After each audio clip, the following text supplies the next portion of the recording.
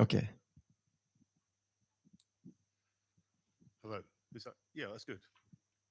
Uh, there's a slide in a minute that will say a little bit about me, but um, I work at Queen Mary University of London. Uh, I'm the director of the Centre for Digital Music there, and um, I've been there for just over 20 years.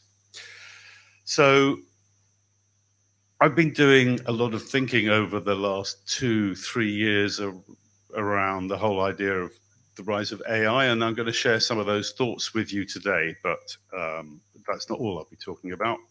Um, so I'm going to get my apologies in first. So one of the one of the things that you realise is that everybody wants to talk about AI, um, and um, so maybe I shouldn't, but uh, it, it's very much a bandwagon. And for me, that is a good reason to try to start explaining what's not so great about having a bandwagon that people um, jump blindly onto.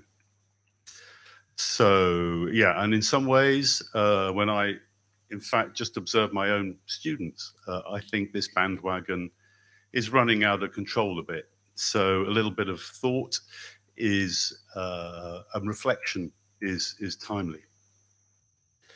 Um, so these are personal thoughts. I'm starting to share them with colleagues at Queen Mary and, and elsewhere, but you know they're not entirely well formed.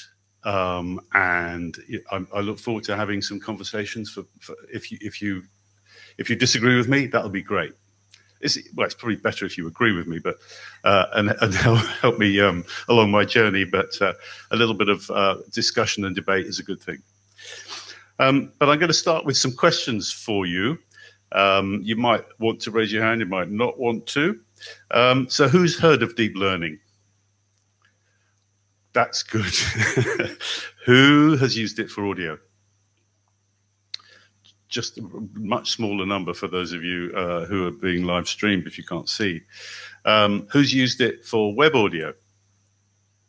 I, slightly even fewer. So there's three, four, five, maybe hands in the in the room. Um, who thinks they understand deep learning? yes, and maybes and yeah. Uh, and then who thinks, I don't care if I don't really understand it, I'm going to use it anyway. Yes, that's that's my point, I think. Um, I could stop here. Um, but first, I'm going to give a, just be, because um, I don't know really, I just thought I'd do it, give a personal historical context for what I've done in web audio, and I, I, don't really think of myself at all as a web audio person, actually. Um, although uh, I was very honoured to to be the chair for the, I think it was the third one in 2017. It all seems a very long time ago. Um, so I'll say a little bit about you know my my own very little bit about my own perspective on on web and audio as I interpret it. Uh, I'll show you some videos and demos of some of the outcomes from a large project I ran, which supported uh, WAC in, in London. Uh, and then I'll get to this, this potentially more pro provocative material. So uh, I could ask another question here, but I was my my my, my sort of uh, habitual way of doing a presentation is to have no imagery, and I realised that's a bit boring, and so I then looked things up on the web to find a picture, and I found this to go with web audio, and and actually it's the uh, it's the logo we used in London. I'd forgotten it existed, but it does uh, right in the top left has the name of the person who created the imagery. Um, so back when I was an undergraduate in electronic engineering, computer science was just about existed, but um, there was no internet but there was ARPANET and DARPANET. Um, I did my PhD in digital audio power amplifiers, and my experience with the web there, so to speak, was using dial up, and I can't even remember how slow it was, but it was probably around a few hundred baud, that was the word for it, um, bits per second, um, to access mainframes when I wasn't going in to the university. Unix was there and there were emails, but the, the, the connection between audio and this very nascent internet was a long, long way uh, from coming together. Um, in the late 90s, I was uh, part of a project funded by BT, which then called British Telecom, um, that you know the major telecom provider at the time in the UK, and they funded a project with lots of universities on video conferencing, and we contributed some scalable audio codecs to that, and that led to me founding um, a startup uh, where we were trying to sell the technology, and it was really clever technology.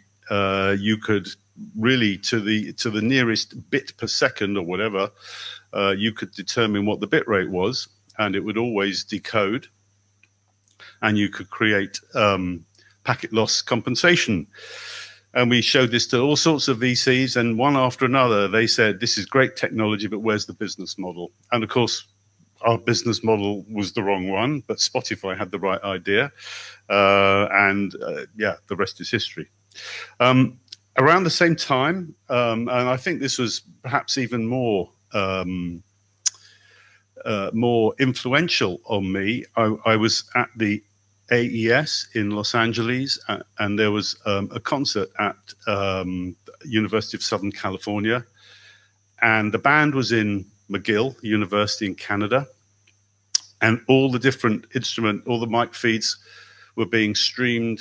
I forget what the what the technology was called, but anyway, it was like two gigabits a second or something, was being streamed to LA and then mixed into surround sound. And I thought, wow, you know, this is this is definitely a, really important um, development. And uh, also around the same time, uh, I came across Chris Chafe's work. And um, if I remember rightly, we invited Chris Chafe as a keynote to London. His work in Soundwire um, which basically uses the delays in the internet as the components in signal processing um, systems. And again, I was I was really thrown by that. I thought it was brilliant.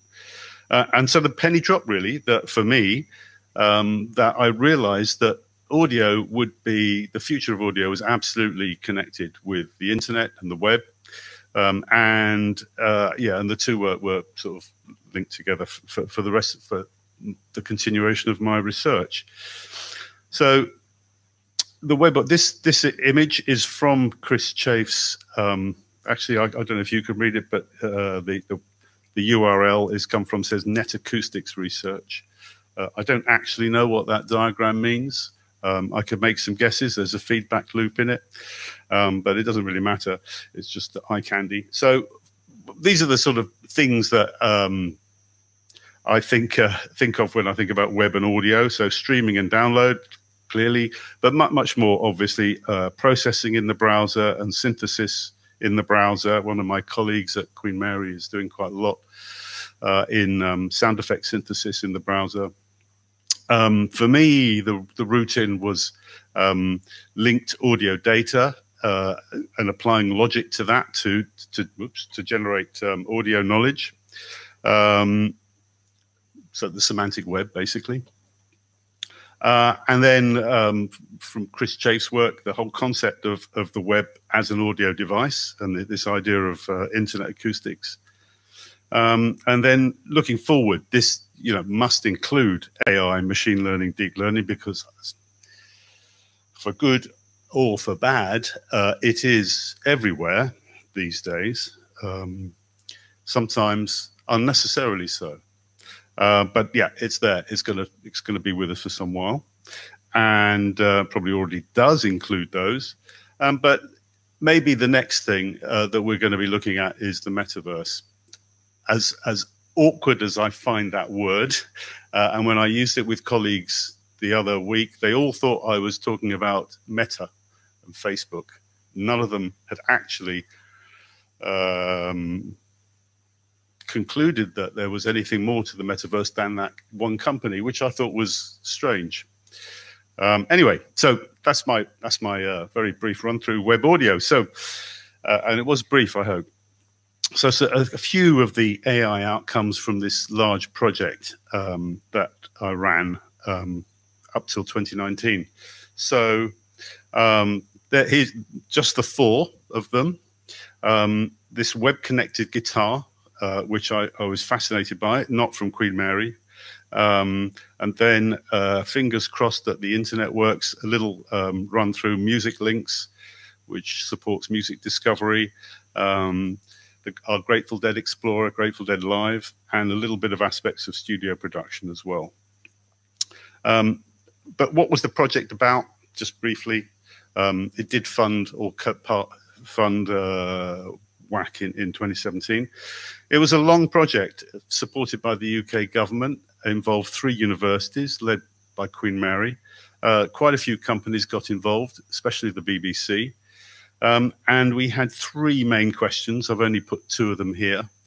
One was Can next generation web technologies combined with music content analysis bring new value and functionality to producers, creators, consumers, and intermediaries of music content. So it was really trying to look across the whole of the music industry.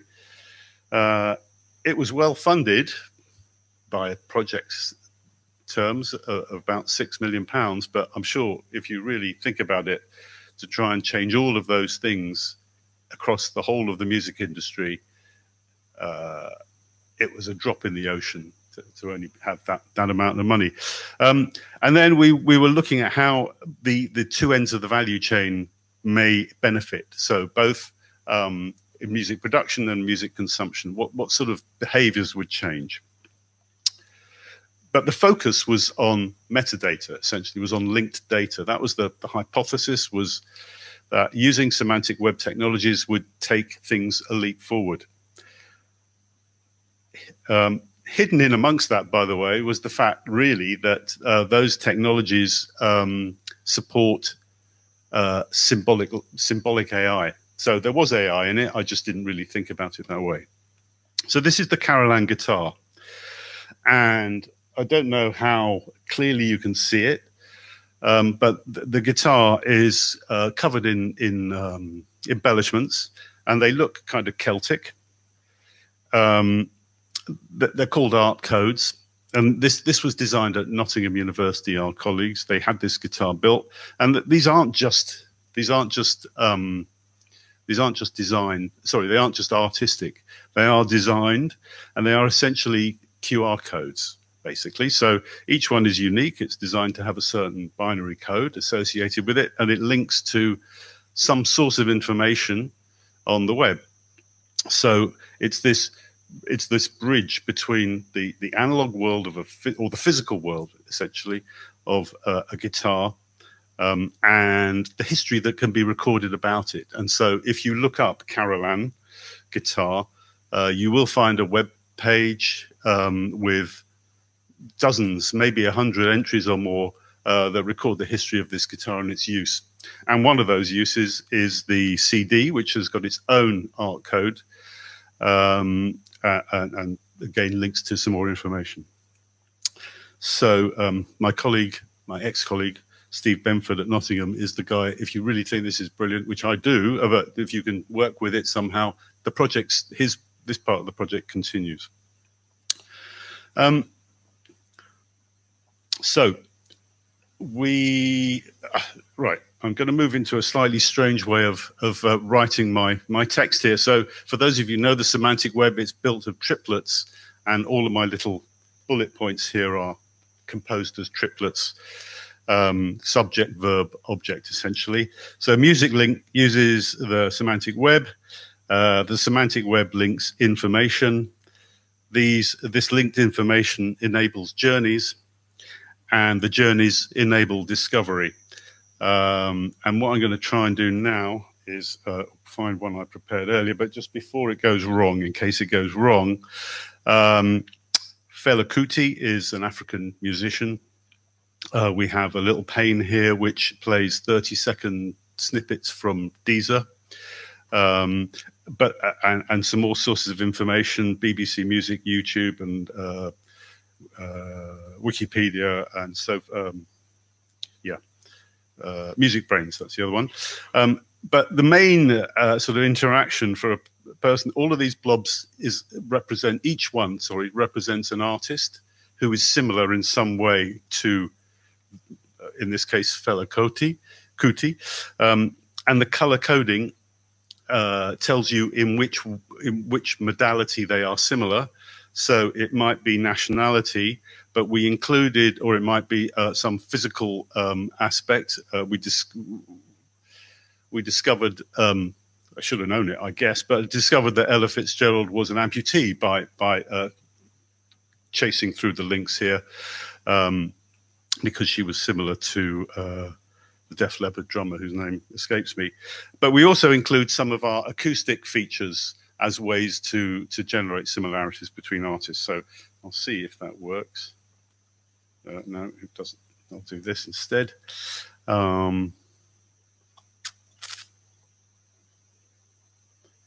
here's yeah, here's the one I prepared earlier. If that is going to work, and uh, we've had some trouble with the internet. But what should happen if um, I won't, I won't spend too long on this in case it doesn't really work, but we should see all those little um, bubbles essentially pop up from the bottom of the screen into, a linked graph. But clearly it's not quite working as it should. Oh, you, you think, yeah. Oh, yes, it's not on there. Yeah, yeah, yeah. It, it switched to the, it switched, ah, Fond de Michel, got it. Yeah, it switched automatically to the, to the local Wi-Fi. I didn't spot that. Yeah, here we go. Uh, that's that. That's a bit more promising. Um, this does get built on the fly, so you know. Uh, okay, there we go. And thank you, Michelle. There's something a bit crazy going on. It's not normally going to do that, and we might have to um, abandon this as an idea. But in principle, so I'm hovering over this artist whose name I can't completely read, Screamers something. And right at the bottom, it says similar artists by rhythm. And if I go to this one here, uh, some band called TV on the radio, I guess, similar artists by tonality. Uh, out. No, whoops, that doesn't work. Uh, normally works in Safari, but anyway, I, what I will do is I'll move on, um, and if, if there's time at the end, we can we can have a look. But um, so uh, here's a stable image, um, but it we, have we've, we've all sorts of people find this very interesting, uh, but nobody's actually decided to try and commercialize it in any way. So uh, it's still sitting there. If you think uh, it could be of interest in the project of yours, do talk to me.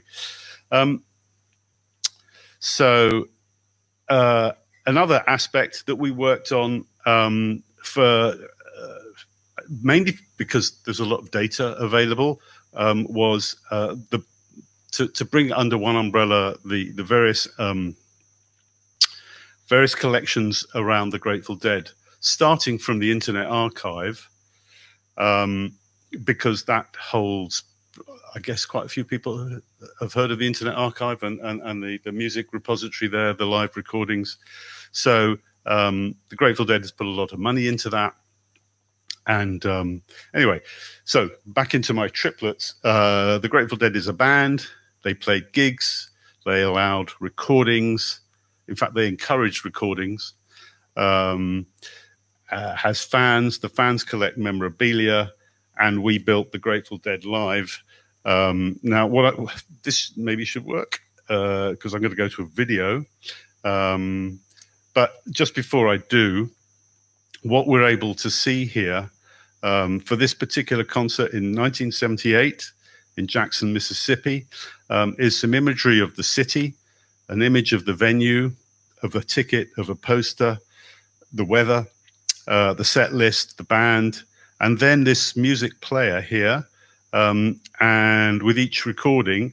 And there are one of the features of the collection on on on the uh, the Internet Archive is that there will be many recordings of the gig by different amateurs and, and a professional recording too, typically. And you can listen to any of those. And at the bottom is a timeline that helps you navigate through um, the gigs. But let's see what happens. Uh, some of you might recognize Thomas. Uh, he he was part he so he did this work along with um, a couple of others, um, but he also was one of the co-organizers in in London. Um, this is him talking. We held a, an industry day um, where we invited uh, about 100 people to come along. We, we booked Vast Expense Abbey Road Studios, not that you can tell, uh, and we'll see what happens if we can hear. All right. No, we can't hear him. Is there any way to? Uh, let me just.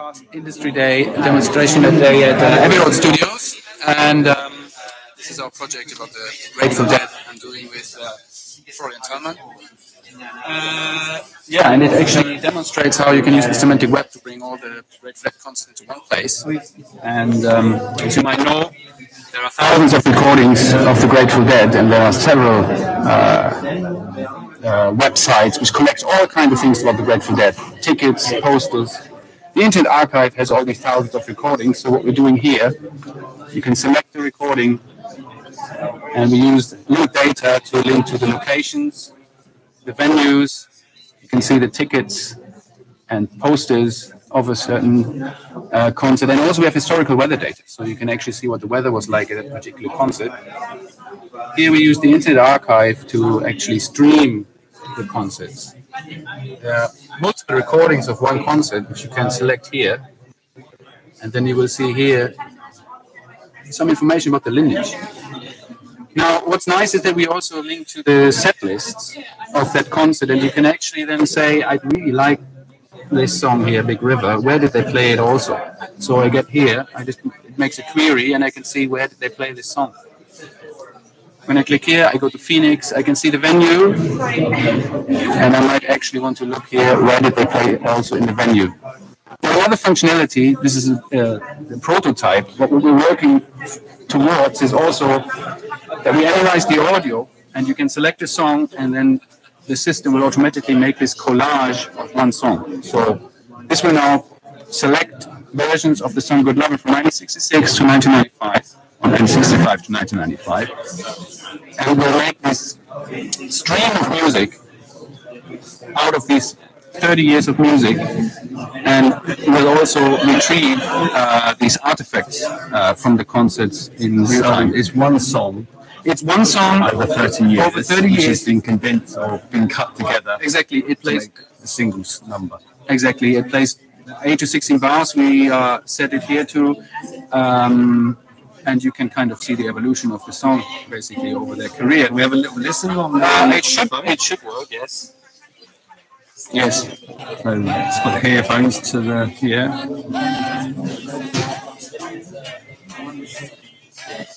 So this is basically. And how did you put it in together?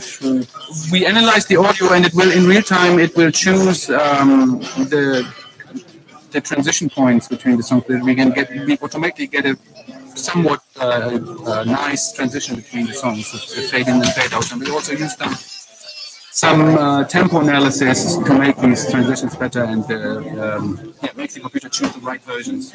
Excellent, excellent. Your name is Thomas, Thomas Wilmering. and the project is It's the Grateful Dead Concert Explorer. Abbey Road Studios, Abbey Road Studios, and it's in Fast Industry Day. Exactly. Thank you. Thanks to Thomas. Um, uh, I think I'll skip this one actually. Um, I'll just say a few words. We, we also have applied uh, some AI tools to studio technology. So this demo, just in the, in the interest of time, really, um, will what? Oh no, no, that that is the that is as it's captured. yeah, I know it's a bit confusing. Um, it, yeah. Um, well, actually, I'd, I will show. No. Um, yeah, here we go. So I'll, do it very quickly. The idea is you, you bring in an unknown audio clip, you ask it to recognize what the instrument is, and then ask it to extract features where it's decided what feature extractor to use based on the instrument. Um, and so that's the guitar, and um, recognizes the guitar, and then it says, oh, that's it, that's identify instrument. And probably, currently says just at the top of that audio source, it says, but it should say something. else. And then feature labels is going to, um, it extracts the underlying um, key.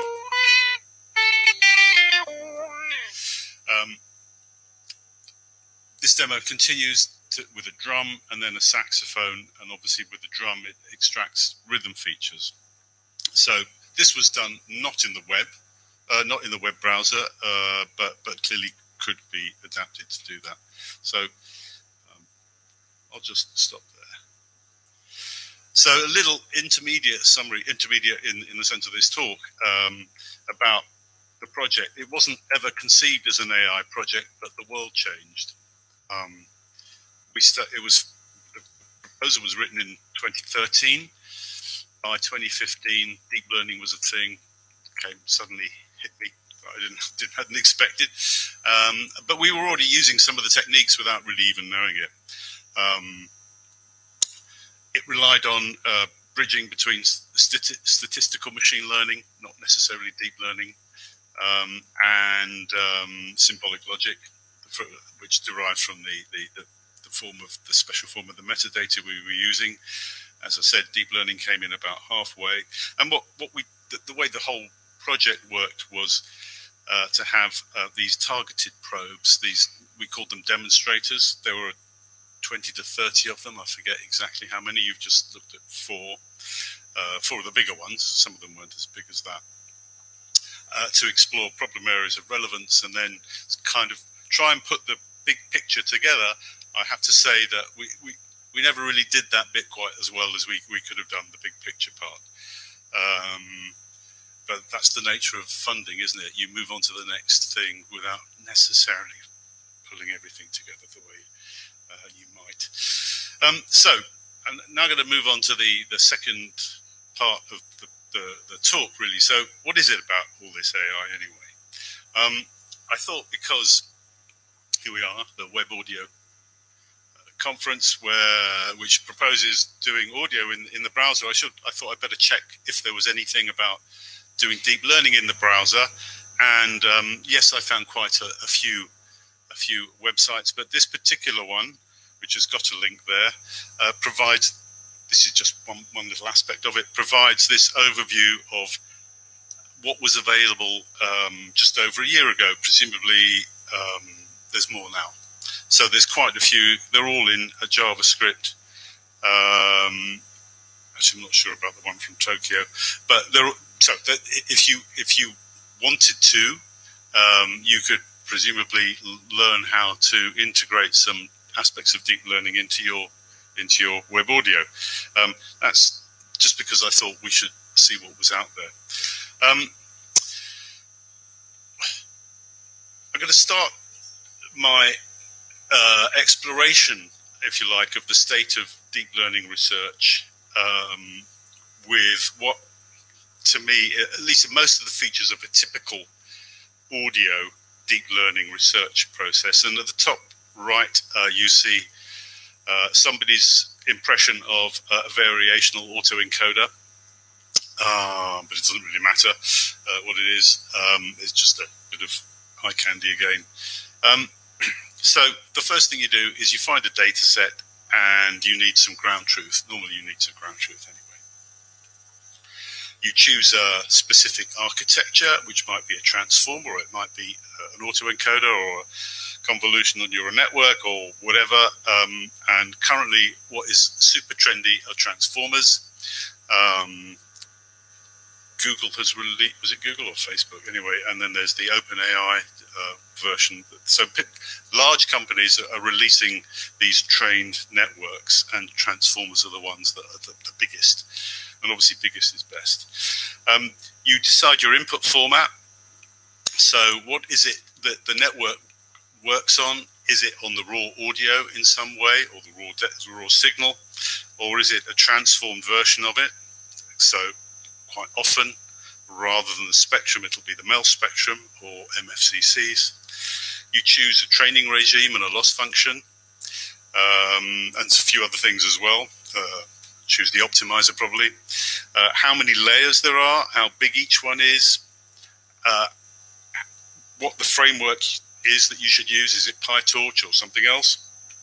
Then you split the data set into training, probably validation as well, and testing. And quite often you use, um, I've said F fold. F is for fold, some number like tenfold or fivefold validation, where you uh, randomly chop it up into, say, five subsets or whatever it is, and just keep one for, for the testing. Then you run experiments for hours or days. And then finally, what you do is you evaluate against the ground truth and generate a very small table of statistics that prove absolutely that by 0.5 of a percent, your approach is the state of the art this week. Um, there's a certain, I hope you can detect the sense of irony in my voice uh, about some of this.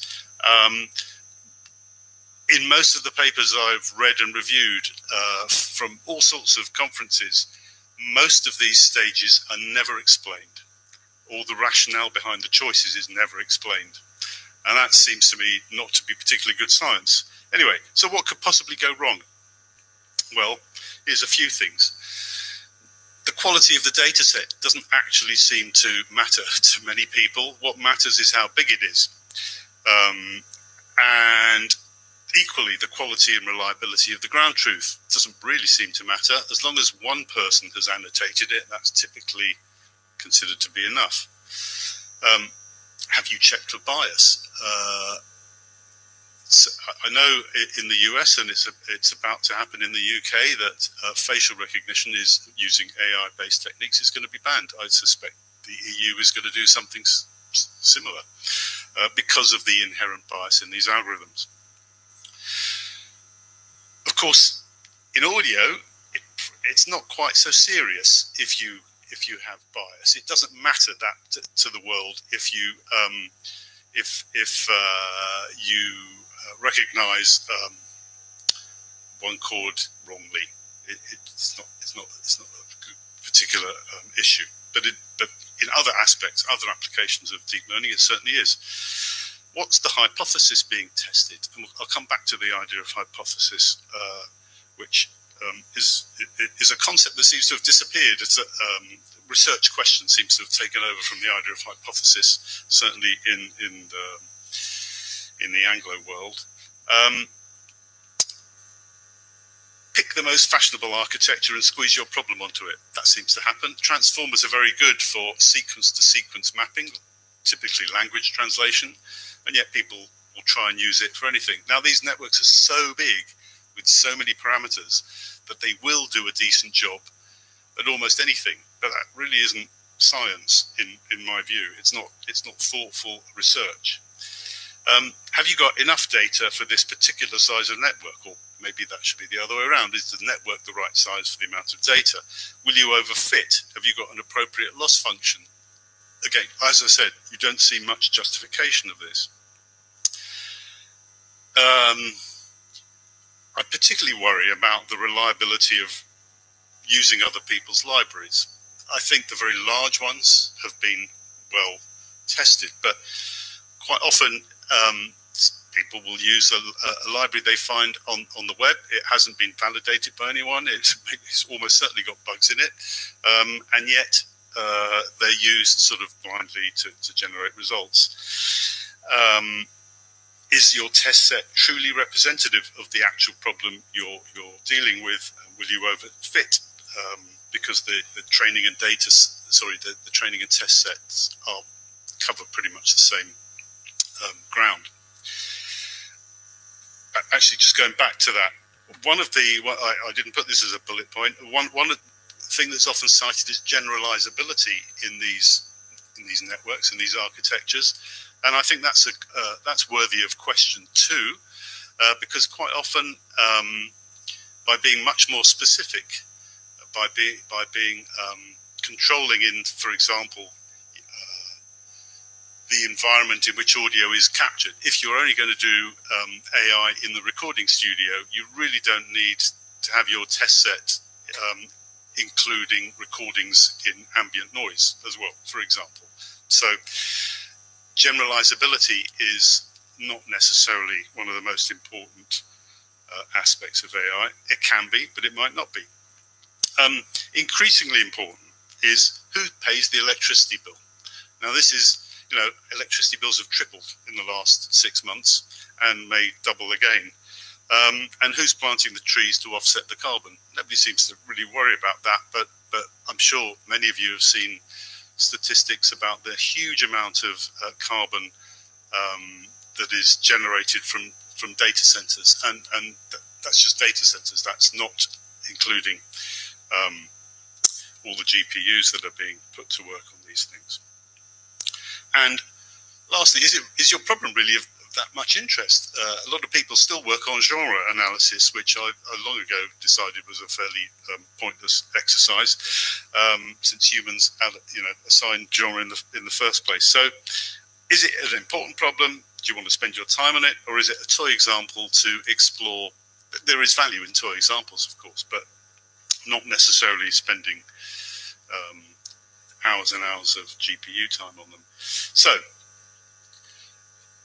my, my feeling is that there are all sorts of fallacies, um, lazy language, and intellectual poverty in this current, in deep learning research as it currently stands today. Now, that's not to say that there aren't excellent people who are doing really top work, but um, they're, I think, in, in the minority. Uh, and as I said, I tried to find some eye candy for, for and I, I, I think um, intellectual poverty was what I googled, and I got this brilliant um, quote from Claude Levi-Strauss: "I have never known so much naive conviction allied to greater intellectual poverty." I thought that was rather telling uh, for, for what I, the message I'm trying to get across. But here's here's one of the the fallacies that cropped up really early um, in uh, applying deep learning to audio it goes like this, and I've seen it many times. A spectrogram is an image. So if you use uh, a convolutional neural network designed for images, you can understand music from a spectrogram. I mean, there's just so much wrong with that. Uh, it, it, it doesn't pay any attention to to what an image actually means. It's, it's not only is it derogatory to what audio is about, but it kind of doesn't understand what images are about either. But that that one sort of sense has um, led to all sorts of uh, research papers. And it, it's testament to the power of these devices that they will still do something useful. Um, this bothers me, and I've managed to train at least one of my PhD students not to, to use the term handcrafted features because it's pejorative. It sound, you know, you are deliberately downplaying I don't know how many hundred years, but let's start with Monsieur Fourier. Um, you are downplaying all the mathematics and all the engineering that's gone into these features by calling them handcrafted, which just doesn't seem to me to uh, be, be um, uh, to acknowledge the, uh, all the intellectual um, effort that's gone into creating those features. I much prefer the term engineered features. I think that, that makes sense. And like I say, one of my students now uses that, not all of them. Um, the fact that more data is better than less data, no matter the quality, well, that's just, you know, we all know garbage in, garbage out, but, but every generation seems to need to learn that again. Um, there's this concept of max pooling, which took me a long time to understand what that was, uh, but um, it's a very nonlinear um, operation. Um, and uh, yeah, again, it seems to it seems to work quite well. But again, I, I, believe that many people use that without really understanding what is meant by. I, I won't go into what it does mean. Um, uh, this idea of strides. We all know what we all know what it is from because we understand what convolution is. But all of a sudden, a new term leaps into into common use without really uh, any any. Um, so I, I, guess I'm using this as a proxy for the fact that many concepts from signal processing, and I didn't say I'm a, my, my title is Professor of Signal Processing at Queen Mary. Many concepts from signal processing are being renamed um, and used casually, I think, in, in the in the literature. Uh, strides is one of them uh, one by one convolution. One of my students wrote, I said, what, what does that mean? I, I don't know what that means. What it actually means is you take, well, I won't go into it, but it's not convolution. I looked it up on, I actually decided I better just check on this. I, I looked at it on the web, it wasn't Wikipedia. And it really did say something like, uh, this isn't convolution. It defined it and said it's not really convolution because it isn't, it can't be.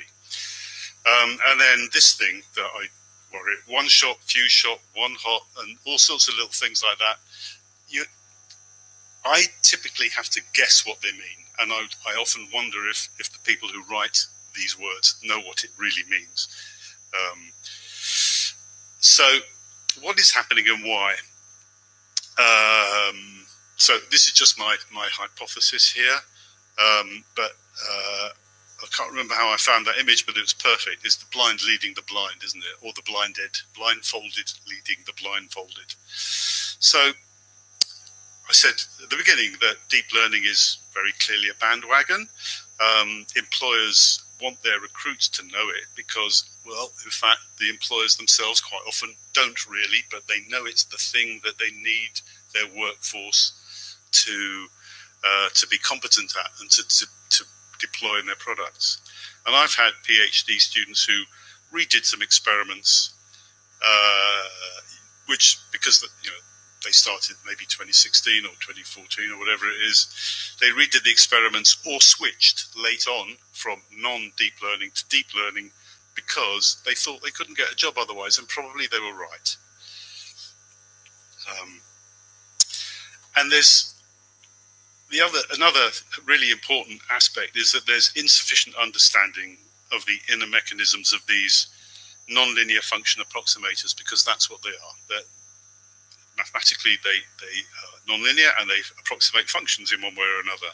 And this is encouraged by these very high functioning programming environments like PyTorch. And so researchers and developers plug and play with little deep understanding of what's going on. And I think that isn't necessarily as terrible as it sounds, um, but which I'll come back to. And also, I think this is fundamentally people like magic bullets. They want something that you know, hey presto, it'll solve my problem. I don't need to think about it, which is kind of um, depressing sometimes. Um, so data and lots of it, please. Um, I, this image I thought was great as well. I, I, I should have shaped my bullet points around those five aspects of consistency, accuracy, completeness, auditability, and orderliness, but I didn't. Um, so there seems to be a, a bit of a, an inter, interaction between the different sorts of uh, uh, the way that data is used for training, for validation, for test, and then deployment, which is sometimes called inference. Uh, how ecologically valid should the data be? Um, how close to the problem that you wish to de deploy it against should it be? And this is this has been very. I, I was hugely baffled by one of my PhD students, who. Uh, so this has been my, one of my, my problems, and maybe for some of uh, you out there, uh, the, the, youngsters jump. You know, I, I didn't learn this stuff as an undergraduate. Well, actually, I did, strangely. Uh, we'll come back to that. Um, I didn't know I'd learnt it. Um, they seem to know more than you do, and so you have to go along with what, what they say. So, quite a few researchers have generated test material for source separation by just taking different instruments that have no musical, that, the, the sequence of notes they play have no musical connection at all they sum them up to create a composite, and then they separate them out as part of the training. Um, I, I, just, you know, the, the, the, reasoning is for generalizability, but uh, it's not a problem that is real in music. So why would you do it? Like, we're starting to address that by actually creating data sets that have that can be large, that can be automatically generated, but actually are musically coherent. Um, representative quality. I'm going to just check the time, but I should probably move a bit quicker. Um, yeah, so really, it's the same. It's the same issue about eco ecological validity. Um, I mentioned this before about the quality of the ground truth annotations. You see in some papers that they uh, there are processes for working out how much the different human annotators agree with one another and using that as part of the, the process, but it's not often practiced. And of course, you can use you can use the same procedure to um, to, to quantify how good the machine annotator is, um, rating their rating the machine against the, the humans.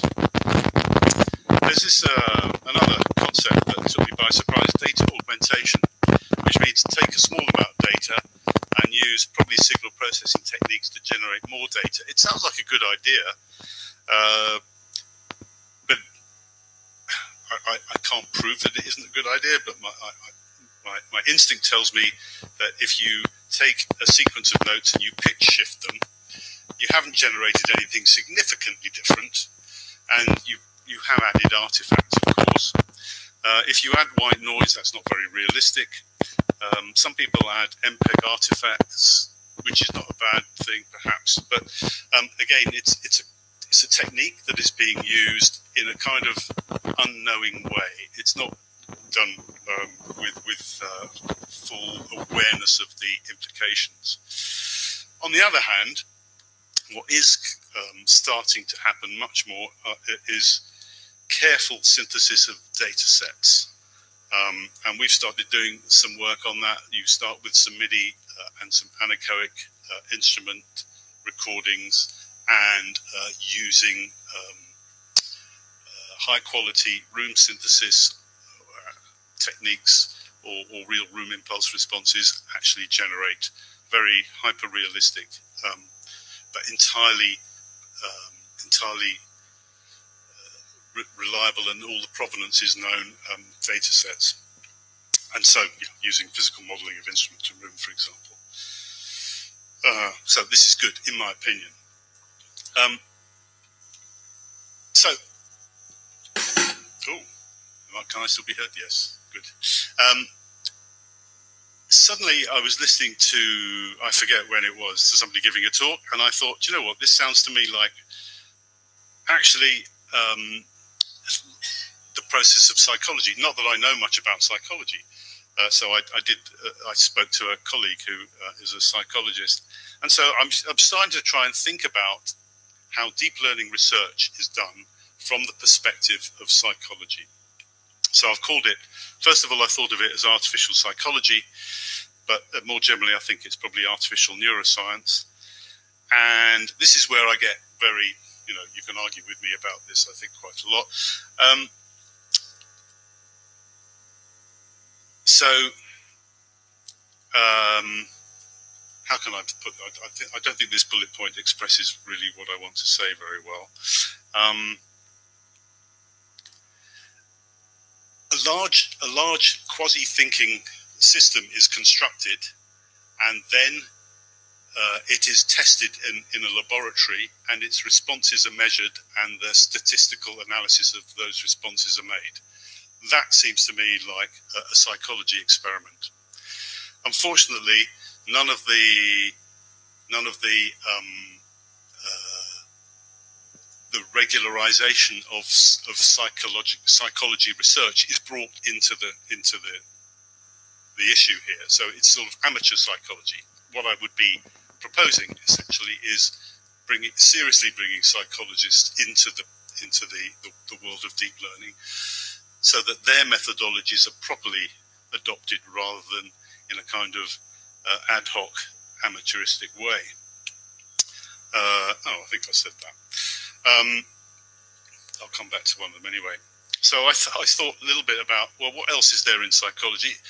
Um, or in neuroscience, and there's a there's a lot there's a body of work on what happens when you um, either remove part of the brain or you separate the two halves of the brain. I've, just for the sake of provocation, I've called it artificial lobotomy, but it turns out that actually um, people do these things called ablation studies. I had no idea what that was um, at first, uh, but it is in fact borrowed. It's a term that's borrowed from psychology. Um, and it's about removal of, the of a component of an AI system. Well, actually, quite often, researchers remove some of the data, not the, not, not the system itself. And it's supposed to be a test of the graceful degradation of the system, but it seems to me to be the opposite of how I've been trained as an engineer, which is you start with a simple system and you gradually increase the complexity because that way you understand it. You understand how adding complexity uh, changes the behavior. So, um, I, guess what I'm saying is this artificial lobotomy is a bad thing, that it should be done uh, in, in a more um, developmental way. So what, what happens is try everything at once and then remove things and see how it changes. Well, you've really confused yourself right from the beginning by adding too many variables into the experiment. Um, so a few, so that led me to think, okay, if if um, if I've got this far with my thinking, let's look at some other uh, possible um, inspirations from neuroscience, and what, what else can we do?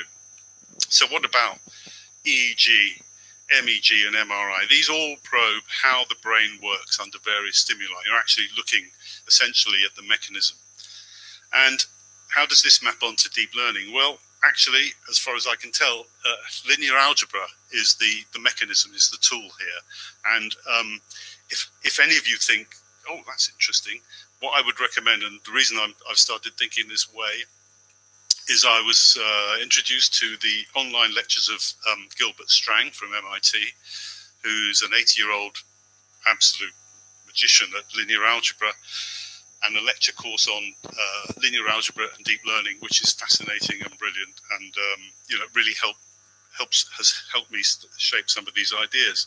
So, can you appeal to linear algebra to calculate some kind of figures of merit for what's going on inside the, the, the deep learning architecture? So, here's a few thoughts.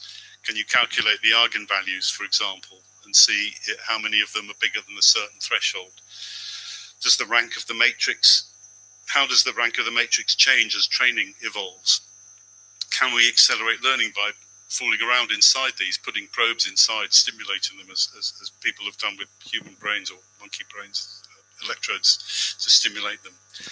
Um, basically, what can you, what, what tools of linear algebra can you bring to bear on the internal workings of uh, deep learning architectures? And then this whole concept, ecological validity, is a concept from psychology. So I, I, think again we can we can examine that. We can uh, think about how that actually plays into um, this research. Um, there's another concept uh, in psychology of cognitive development, which is that learning does not happen uh, all in one go in humans, but but but that is how deep learning works. Is you throw all the information at it in any order you want, the most complicated to the least all at once and uh, let the machine sort that out. But there is, in fact, uh, uh, an alternative to that that is used, which is called curriculum training, which actually starts from simpler, simpler ideas and moves on. So, just a quick one that this uh, deep neural surgery actually works. I forget exactly how I came across this. I think it was, yeah, I think uh, I, I, I found a tweet that mentioned this. Basically, it's a recent paper that actually does get inside a neural network um, that's already been trained, cut a few bits out, and then retrain it, and, and it, it learns how to compensate for errors. I, I won't go through that in the, in the interest of time. I also came across this, the slow AI movement. I thought, oh, that's the one for me. Um, so some in some cases it refers i don't know how many people have read kahneman's book thinking fast and slow which talks about the two different mechanisms of human um, thinking essentially the sort of autonomic instant reaction and the slower more considered reaction. Um, there is the this DAIR DARE um, which was founded by ex-google employees again as a sort of response to big tech and, and the approach that they were taking.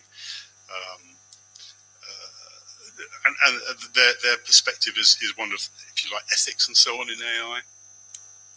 One of them says in an interview, if it looks like a nail, hit it with a hammer. Uh, and if it doesn't, well, you know, just use the hammer anyway.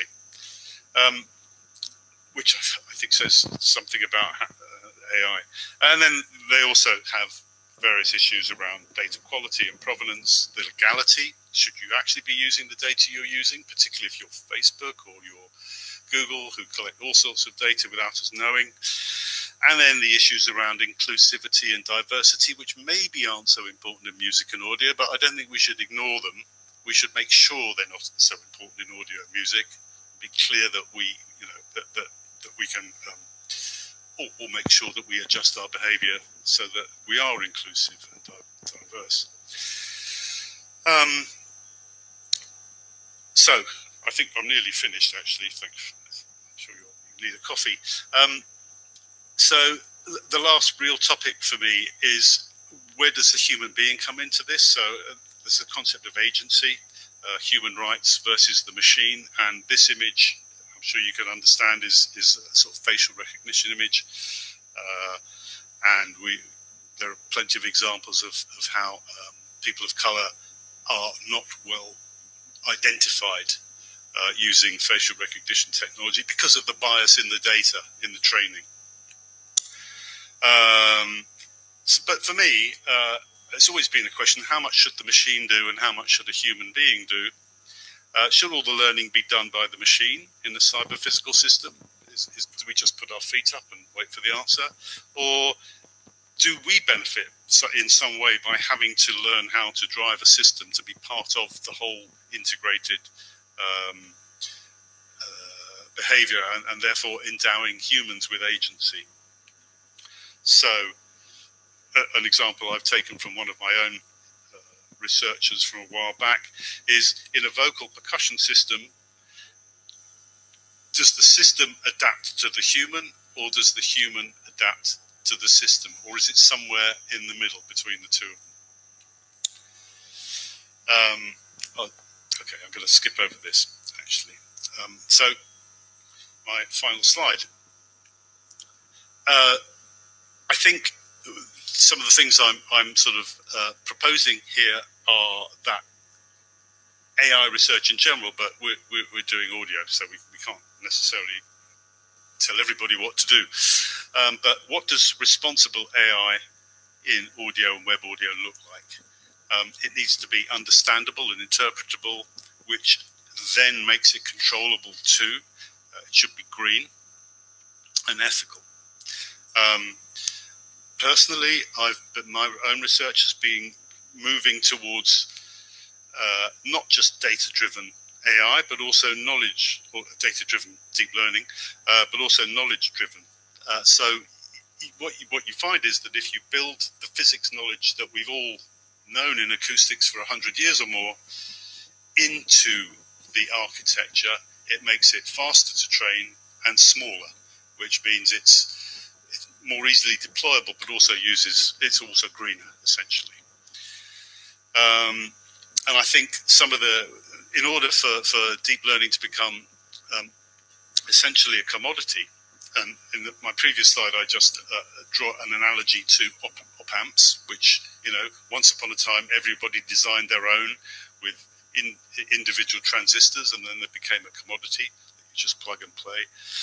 Um, you need to standardize the specification around these uh, so that everybody can understand and, and decide easily what uh, to do.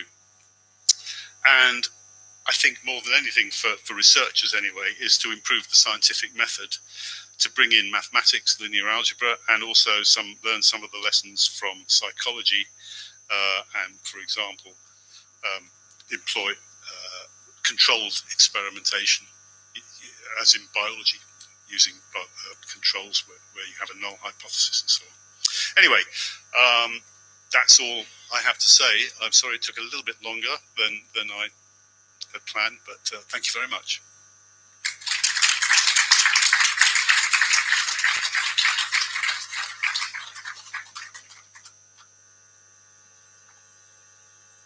Thank you, Mark. Do we have any questions or comments?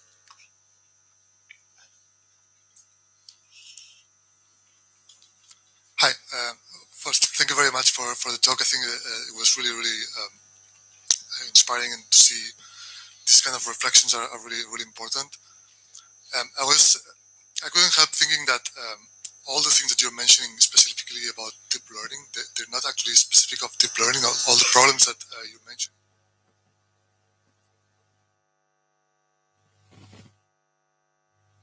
Uh, research uh, in disciplines like uh, music information retrieval has always been a, bit, a little bit like this. Yes.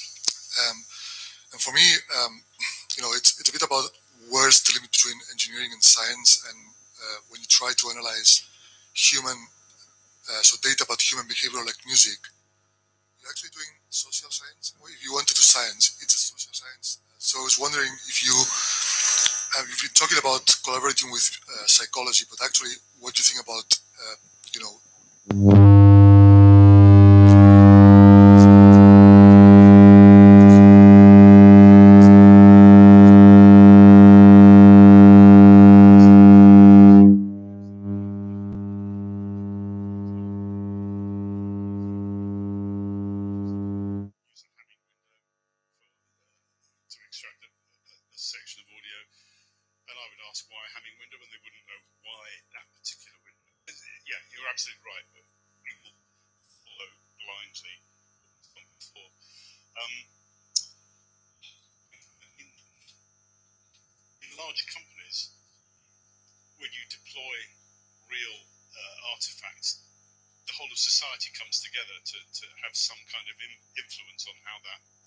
gets developed. So that's in the wild. How do, what you're asking, what you're suggesting, I think, is how do we do that in the laboratory? How do we do that better in the laboratory? How do we get closer to that? I mean, yeah. So in FAST, we worked with eth- ethnographers to some extent. That helped a lot to, to sort out were we going to provide a solution to the right question or the wrong question. And we were originally going to provide a solution to the question. So I think getting the question right by by talking with all sorts of social scientists, by working with them, is very important. But of course, it then gets more expensive because you you you know you, you need a, large multi-disciplinary team to really address these issues. And I guess that's the problem. I you know um, yeah ideally that's what you would have. So in my own school, which is uh, electronic engineering and computer science, we have several, at least two I can think of, psychologists, one in visual stuff, one in natural language.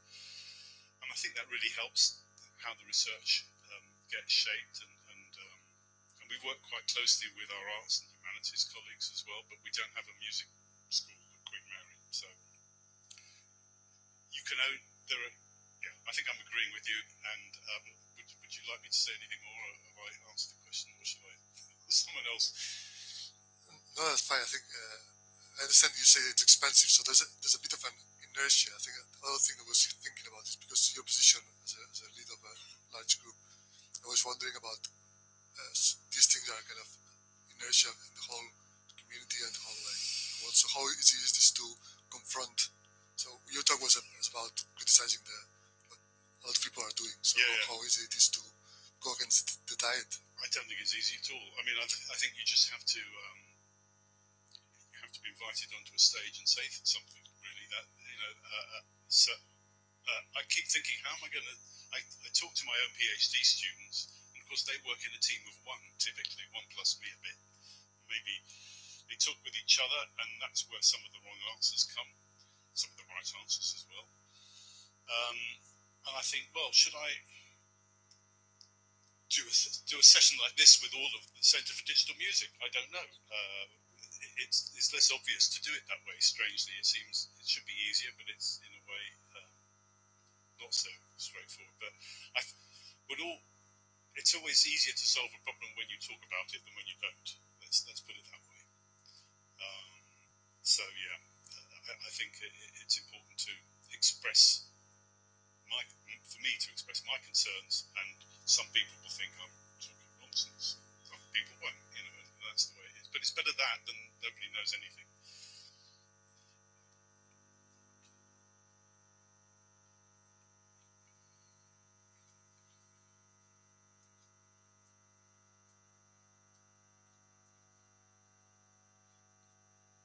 Hi, uh, thank you for the talk. That was very insightful.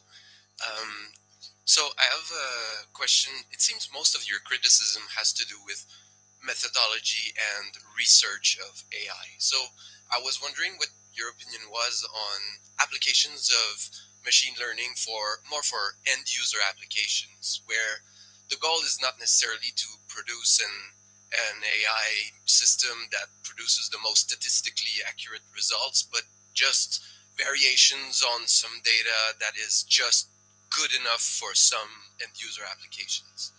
I think good enough is a, is a great phrase, actually. I, I think quite often um, we, we lose sight of um, how, the functionality of, of, what is good enough because we're, we're focused on getting the best and actually uh, it's only the best by one kind of silly metric that, that doesn't stand up. So one of the things I, I say to my my students and other people is, okay, so um, theirs was 80% effective, whatever the measure is, maybe F1 or something, uh, and yours is 80.5, but have you looked at where your system fails? Because it, particularly in music, you know, uh, what is incorrect is, sorry, what is not correct isn't necessarily incorrect, it's only marginally not correct. Um, uh, because of the because of the close correspondence between, for example, different chords. So uh, then I think it's important to see how far away from the correct answer you are, and, and that doesn't happen. when people deploy products, to me, that's always been the problem with the research we do. Um, we, we, we, do things that are, or at least I have, uh, uh, that have a, an end consumer in mind in the hundreds of thousands or millions or even more than that. And that's the real experiment is how well it actually um, deploys in the population. And we can't possibly test that. But there are some things you can do, such as pay attention to failure modes. Um, the, this concept of state of the art being stated, so many papers say, and my, my work is state of the art. Well, that, I, I, made that comment this week's state of the art because that does happen and it's not important. What's important is to have done the research well uh, and to have examined uh, examined the, the outcomes from as many aspects as you can possibly manage. And, and I think that isn't happening. So you're absolutely right. Uh, my criticism is one of methodology. Yes. Yes. Thank you for that. That's really good. That that makes a lot of sense. Yeah. Thank you.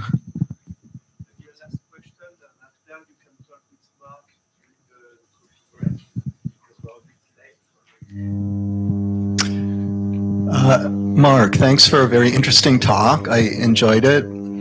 Um, you were critical of using spectrograms um, and uh, CNN type image based techniques for their interpretation.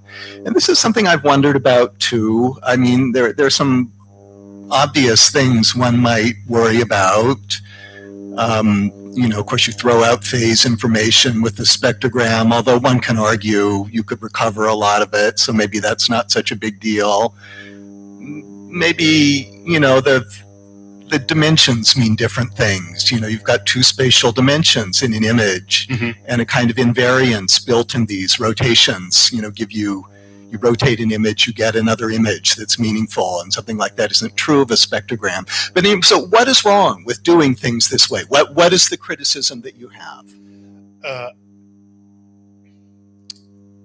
it's not. It it was, as far as I could tell, not thoughtfully done. It was like, oh look, here's a technique, it, and I I think I've seen it decades, uh, you know, for a long time that that let's just take a technique that works in image processing. It happens a lot in image processing.